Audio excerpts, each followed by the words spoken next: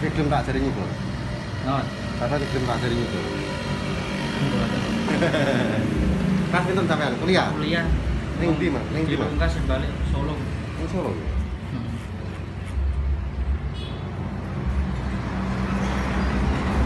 Mana Solo saiki tukang cukur dadi gawe ngono barber kabeh Heeh. sekali cukur 20000 Heeh.